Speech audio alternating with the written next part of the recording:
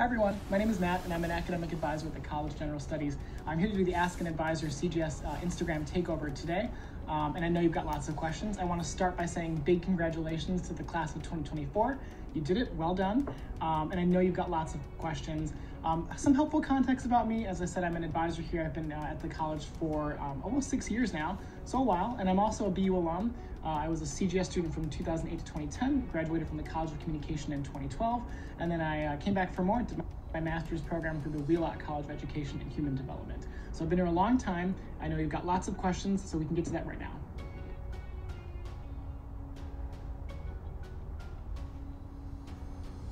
answer to this question is yes. You may use AP credits towards CGS classes. The process is very simple. You need to earn a four or five on the applicable AP exam, and we accept uh, AP English Literature, AP Biology, AP Environmental Science.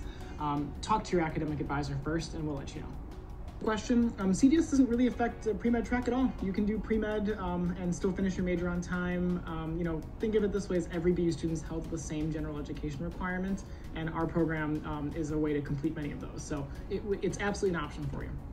BU has a really great uh, pre-professional advising office. Um, we will refer students there pretty much right away. So if you're interested in, you know, pre-med, pre-vet, pre-dental, pre-law, whatever it may be, um, talk to them and they can help you through it. CGS students, you have the ability to take at least one elective um, for this fall and spring semester that you're uh, here with us. So it's very easy to fit the STEM classes in. Um, talk to your advisor. We can see how that works. You know, certain majors fit in differently, but it's it's um, it's absolutely doable. I just want to take a minute to explain this a little bit further because the amount of time Instagram gives me is not nearly enough. So um, the CGS requirements, just to be totally clear, we offer a total of 12 courses over uh, the two years you're with us at CGS. And those courses that we offer um, are are two rhetoric, two natural sciences, four humanities, and four social science courses total. Um, you only, excuse the siren, only have to complete three humanities and three social science courses uh, from our uh, curriculum to complete those requirements. So you have a lot of flexibility there in how you do it. And as I sort of hinted on in the other answer, um, there are certain majors, you know, looking more at like the sciences, biology majors, chemistry majors, where we um, have different requirements for our uh, curriculum as well to allow them to take the courses that they need to take. So the six week term is going to feel different, right? Um, it is shorter than you're used to in a semester. Um, but at that point, you will have had a full semester under your, under your belt. Um, so you're going to know what to look for. You're also going to go there with your professor. So you're going to know them as well. They're going to know you. Um, in my experience, students do just fine. BU does, in fact, uh, accept dual enrollment credits. Uh, the way it works is that we first have to make sure that the courses did not count for any high school requirements. Um, so we will have you fill out a form and uh, to be signed by a, a counselor advisor at your uh, high school. Um, but yes, we do accept them yes, it is indeed possible to do a BAMA track. Um, these tend to be very competitive programs, so we want to be um, very mindful and careful in our planning uh, in terms of getting any prerequisites done. Um, but let your advisor know, and we'll talk to you about next steps. Yes, uh, there is a website we have called the Transfer Equivalency Site. Uh, it's an exhaustive list of thousands of courses that have been pre-approved at BU. Um, let me take a second to show you how to find that.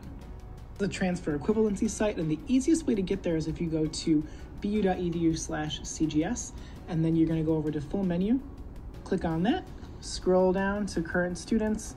Uh, here's where you're going to find all the relevant information for your class year. If you scroll all the way down and you go to policies and click go. And from policies, you're going to see a lot of things. We're going to focus on transfer credits. Uh, and then from here, you're going to find uh, information on your gap semester courses, um, as well as a link to the transfer equivalency site right here.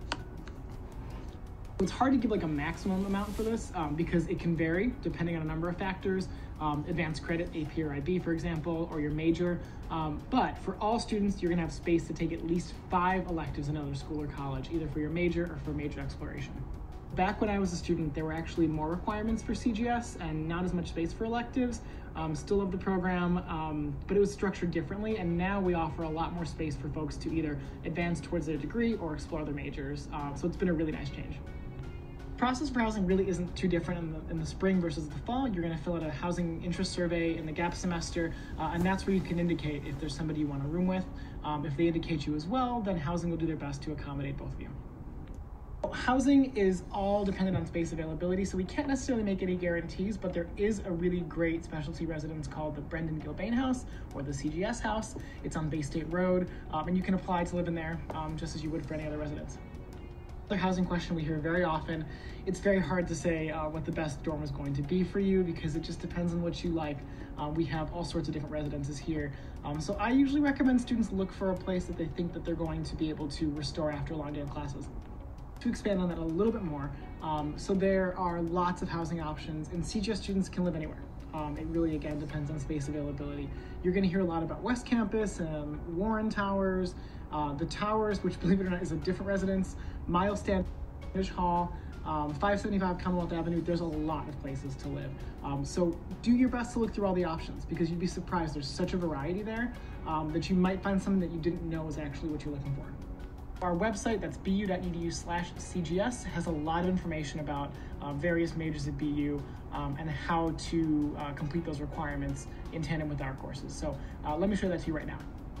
Again, we're at bu.edu slash CGS. You're going to go over to full menu, and then we're going to go back to current students. And then from there, you actually have your own class page now. So let's go to class of 2024 and go ahead and click go. Uh, welcome, class of 2024. Then you're going to scroll down, you're going to see a page called Pathways. This is going to be really helpful for future reference. Um, you can see all the academic pathways to various BU degrees. This isn't all of them, but it's many of them. So if you look through, you know, for example, let's look at architectural studies, you're going to see a road map of four years and how to complete the courses required for the major as well as our courses sort of a, a sample pathway you don't have to follow this exactly but it's one way to do it um, to accomplish this degree and you can look through all the different majors um, that we have here uh, and if you don't see something here talk to your advisor um, because there's actually a lot more majors than we list here all right, so it's four o'clock and I have to head out for right now, um, but I will be back later to check on some other questions, so please keep them coming. Um, it has been so great to hear from many of you and you've had such great questions. Uh, and once again, congratulations on your acceptance. We're so excited to get to meet you uh, in January. Um, and also, you know, if you didn't have a question answered today, or maybe if you think about it later on and want to follow up, you can email cgs at bu.edu, and then they're going to connect you with either myself or one of my colleagues, uh, one of the academic advisors on staff here. We can answer your questions in more detail. Um, and you can also feel free to email me directly, mbae at bu.edu. I'm always happy to take other questions. Thanks a lot.